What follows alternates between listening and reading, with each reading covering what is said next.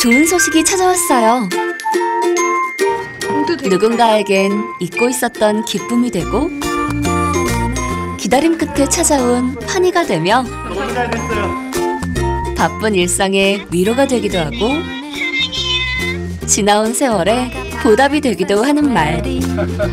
근로장려금도 당신에게 좋은 소식이 되고 싶습니다. 바쁘게 살아온 당신. 참 애썼다고. 더 힘내시라고.